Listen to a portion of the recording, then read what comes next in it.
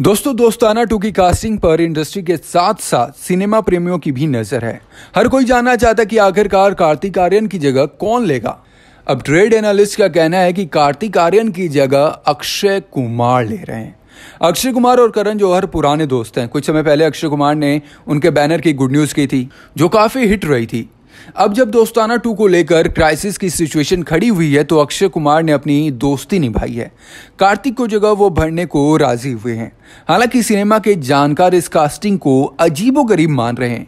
उनका कहना है कि जानवी कपूर के साथ अक्षय कुमार रोमांटिक पेयर वाले कैरेक्टर नहीं करेंगे। देखा जाए तो जहाँ से खबर भी आ रही है, वहाँ से ये भी कहा जा रहा है कि अक्षय कुमार और जानवी कपूर भाई बहन के रोल में होंगे।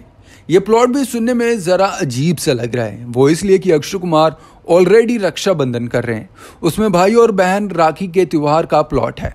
ऐसे में एक और भाई बहन की थीम वाली फ़िल्म अक्षय कुमार के इस बेस पर कर रहे हैं। दो फ़िल्में एक ही थीम पर कैसे हो सकती है? देखना दिलचस्प होगा। क्या करण जौहर और अक्षय कुमार की तरफ़ से ऐसा कोई सरप्राइज़ आता है? फ़िलहाल तो धर्मा प्रोडक्शन के ऑफिशियल भी इस बारे में कुछ बात नहीं कर पा रहे हैं। उनके पास भी अक्षय कुमार की फ़िल्म में होने की कोई ठोस जानकारी नहीं है। रहा सवाल जानवी कपूर के सेम एज ग्रुप की। सारा अली खान का तो उनके साथ अक्षय कुमार के साथ अतरंगी रे में रोमांटिकली पेयर नहीं है। अक्षय के बेहद करीबी लोगों ने बताया कि अतरंगी रे में उनका सारा अली खान के साथ लव इंटरेस्ट नहीं है। वो इसमें सारा के पिता के रोल में है। अक्षय उस एज की एक्ट्रेस के साथ इसी किस्म के रोल में प्रेफर भी कर रहे हैं। वेल आपको क्या लगता है कि किस रोल में होंगे अक्षय कुमार अगर दोस्ताना टू में आते हैं?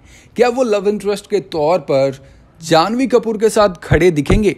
मतलब कि क्या केमिस्ट्री बन पाएगी उस तरह की या नहीं? नीचे कमेंट बॉक्स में अपनी अपनी राय शेयर करें। Thank you so much